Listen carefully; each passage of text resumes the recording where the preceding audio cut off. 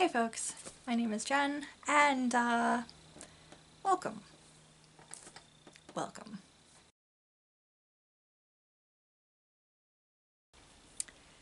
I, uh, I bought some more books, so yeah. So a couple of these I will have already mentioned. Um, the first of which is The Adventures of Amina Al-Sirafi by uh, Shannon Chakraborty. This was one of the books that I have been looking for at um, the bookstore and they did not have it in stock so I ended up ordering it online and it is about a retired pirate captain uh, getting pulled back onto the seas in a big adventure. Basically, she has been pulled back into piracy uh, in the hopes of saving a daughter, I believe, of one of her old comrades who has been kidnapped. So things things get crazy from there. Very excited to read this. I think I have this slated as a summer read. I'm super jazzed about it. The other thing uh, that I got that I kind of mentioned, or I mentioned it, probably my January wrap-up that will be coming out first is volume 3 of The Adventure Zone, Petals to the Metal, um, because I got home after grabbing volumes 4 and 5 from the store and realized that I didn't in fact own volume 3. Uh, so I ended up ordering this online as well and uh, yeah, so I just grabbed that. Then I have another stack here. Well, okay, so one of these was a pre-order and then the others there's there's reasons. Okay, so the first of these, the pre-order was Amulet Volume 9 by Kazu Kibuishi. This is the last, the final volume of Amulet. It is called Wave Rider.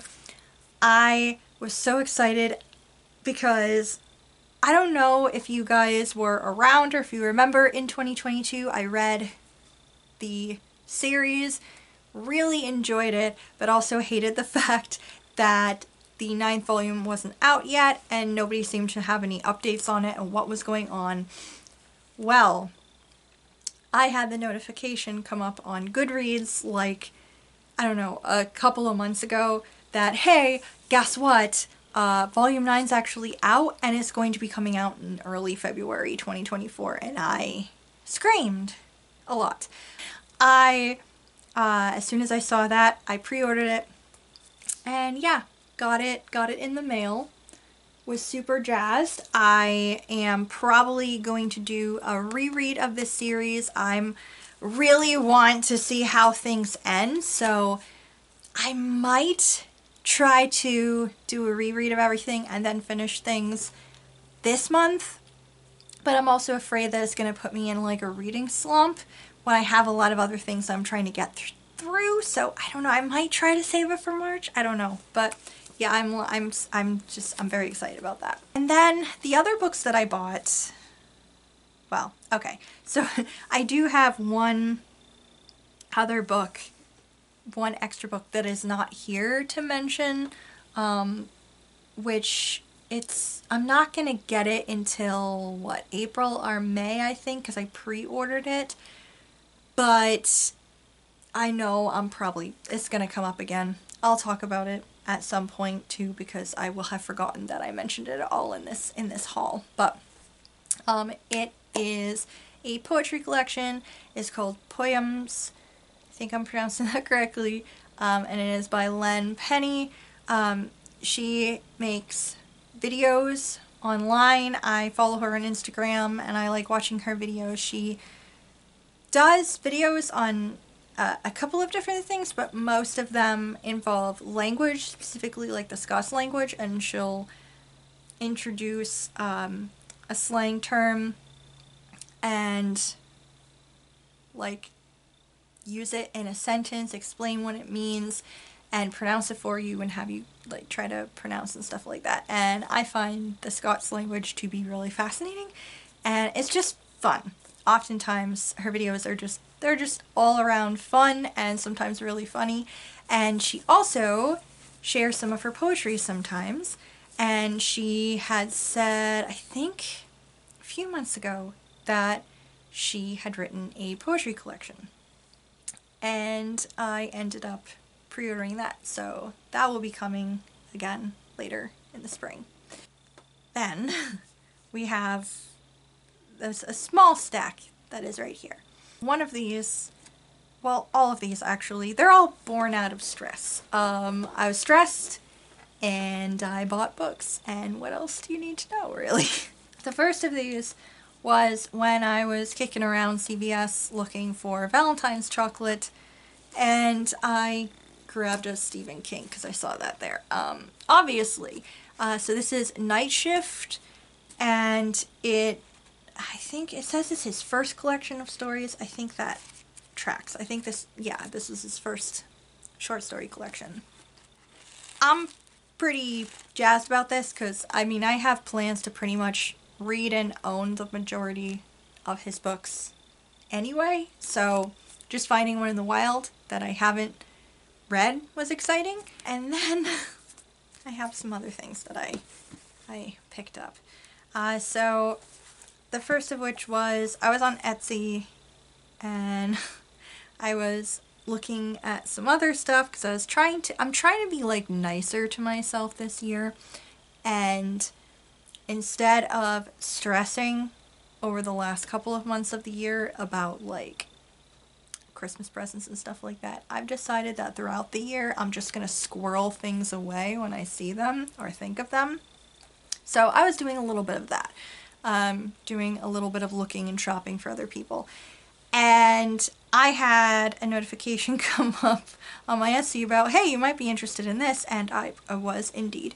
Um, and it was old secondhand copy of Agatha Christie books, and this is a Fontana book. I really like how easily floppy this thing is. But yeah, this is an old vintage copy of The Mirror Crack'd from Side to Side, which I thought that I've read this before possibly, but I I looked at the description and I have no memory of this. So I'm thinking maybe I confused it with They Do It With Mirrors. I'm thinking that's what I did. I confused the two books. But yeah, so I grabbed this and this is Miss Marple Mystery. Uh, Murder Again Comes to St. Mary Mead. This actress, like a famous fil- ah, film actress, sees a murder, or she sees something violent happen, and then there's like a dead body in her house, and suspicion and stuff like that is basically what this sounds like. Which did not sound familiar to me at all, so I'm like, okay, I probably haven't read this one, but I think this would be a fun little mystery. And then I have some other, few other books that I got. Uh, so first of all, I grabbed a couple of poetry collections. Uh, one of these is Good Poems for Hard Times, and this is selected, selected and introduced by Garrison Keillor. I have good poems, um, just your standard collection. I did not know that this particular one existed. Um, so when I saw that, I was like, oh, that's cool. So, uh, yep, grab this collection. Um, I started reading this already. Um, got like, I don't know, 10 poems in or something. Also, so I shared this on my Instagram story. This is like, I really like when I find little treasures in secondhand books. It's something that I really love about secondhand books, like finding. Uh, I found found press flowers. I found little cards with poems on them. I found drawings. I found bookmarks. You know, I find random things in there, and occasionally I'll find like somebody's book plate or their name or a couple of names and sometimes inscriptions. And I always kind of wonder about the inscriptions, but then a lot of the times I figure, oh, well, that's from the 60s. You know, maybe they've passed and their kids didn't know what to do, didn't want this book and they got rid of it, or, you know, whatever happened. There's explanations for it. I, I have a book that's got like an inscription from like the 20s or something, and it's like, well, obviously people probably aren't, you know, the people who cared about it probably aren't not around anymore, so. But this, actually, this is the first time one's actually made me kind of sad. It's an inscription in here from 2008. I'm just kind of like, what happened, guys? Youch. The other poetry collection that I grabbed is The Trouble with Poetry and Other Poems by Billy Collins. Uh, Billy Collins is one of my favorite poets and I had not seen this before. Uh, the bear on it obviously attracted to me it to me first. Uh, and then I saw, oh hey, this is my Billy Collins. Obviously I need this in my life. So yeah. Um, also had not heard of this one before. Um, I know his you know, his others, Nine Horses, Sailing Alone Around the Room. I think that's my favorite collection of his. And then I also have a couple of other his other collections. Um, the Rain in Portugal is also really good. So, you know, I've known those before, but hadn't heard about this one before. So, um, I think this will be pretty good too. Then a couple of other things. So, one is I was looking for some Dumas. I was trying to find Dumas by the same translator, uh, the Three Musketeers, and could not find it. Um, so I think I might, I don't know. I got that original, like, one from Barnes & Noble, so I'm guessing maybe I'll have to look for that specific one on Barnes & Noble's site or something. I don't know, guys. But basically, I was just looking for other stuff that he's written, because I know it's the Three Musketeers, I know it's the Count of Monte Cristo, and I know like there's a couple of other uh, adventure type books he he'd done before. And then I saw this. it is From Absinthe to Zest, an alphabet for food lovers. It's just a simple little book that's literally a food dictionary. And it's Alexandre Dumas going through all of these food items or dishes like absinthe, or wormwood, anchovy, anise, apricot, beans, bear. I don't think I want to read about bear though. Cake, all different types of cake. Um, you know, various things like that. And he's just like discussing the dishes and how they're prepared or like information about them and stuff like that. And it's just basically a a fun little book about that because apparently he was an extremely talented cook himself and considered himself to be a gourmand and which I did not know. So uh yeah, that's pretty cool and also very random. So I imagine this is just going to be like a fun thing that I squeeze in between some of my other reads just because I feel like it. Then I also I grabbed a couple of other books from other authors that I really love. So one of these is North Country, A Personal Journey Through the Borderland by Howard Frank Mosher. Howard Frank Mosher is one of my favorite authors of all time. Um, he was a Vermont author and he wrote a couple of my favorite books and just his books are always like so beautiful like very touching, very funny, full of very quirky, uh, funny characters, and the descriptions that he has of like people and places in Vermont and general is just so gorgeous. This book is actually a nonfiction, and I have another nonfiction of his um, unread on my shelves, which is about. Also, this is about a journey. The other one's also about a journey, but they're two very different journeys. So this one, to celebrate, it sounds like his 50th birthday, he set off on a journey following America's northern border from coast to coast. And so this is basically about his experience. And I think, I don't think it was him by himself. I think he went with his wife. But they basically, they just explored the northern border of the country from like Maine. I think it's, well, he might have started in Vermont, but I think it's, it says coast to coast. I'm assuming from Maine to all the way to like, my God, guys, I'm so bad at geography. Washington, right? Yes. Um, so, no, Oregon. Nope, Washington. Washington. Okay. So it's out in that general direction. And so that's really fascinating. And the other book I have of his is also about a journey, but it's about uh, a road trip that he took um, as part of, like, I believe it's like press or something for a book that he'd written. And then he'd also just found out he'd been diagnosed with cancer. So uh, that's a very different journey than what th- this sounds like. I also have a goal to like read and own all of his the books that he's ever written as well because I just love his writing so much. So uh, I've added yet another nonfiction book to my shelves. Fuck off. I have a problem. And the last book that I got, I'm um really I'm pretty jazzed about.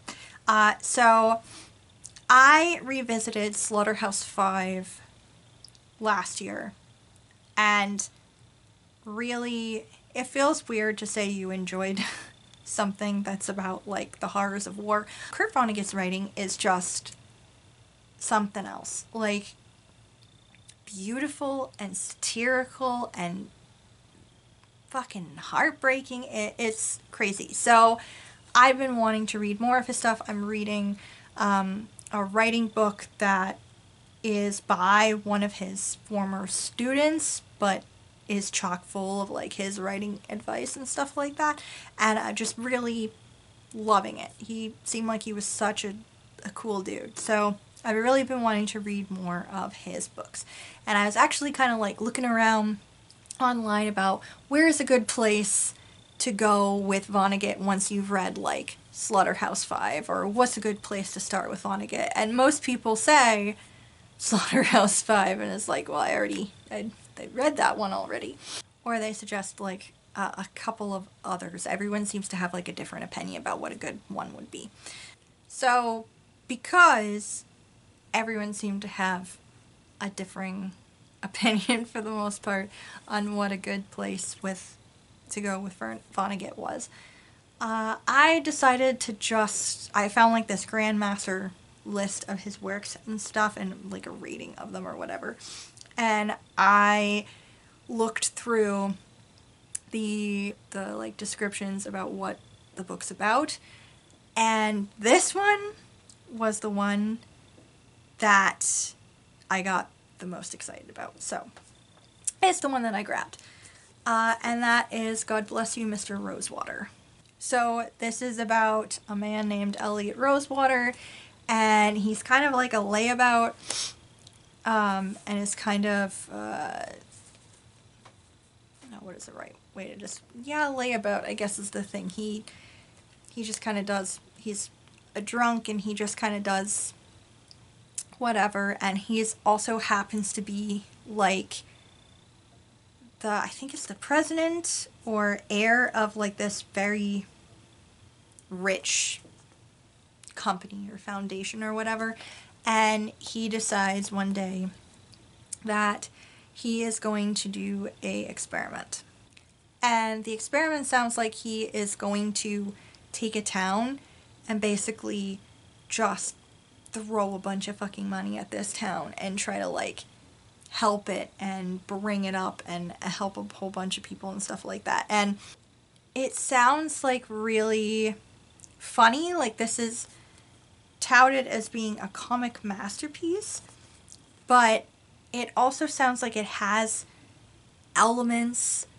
of stuff that I'm I really kind of like like elements of stories that I enjoy, like a little bit of Ebenezer Scrooge at the end of A Christmas Carol, or a little bit of uh, It's a Wonderful Life, but in this version, Mr. Potter's not a heartless dickbag. He's maybe a good guy or at least has good intentions or something.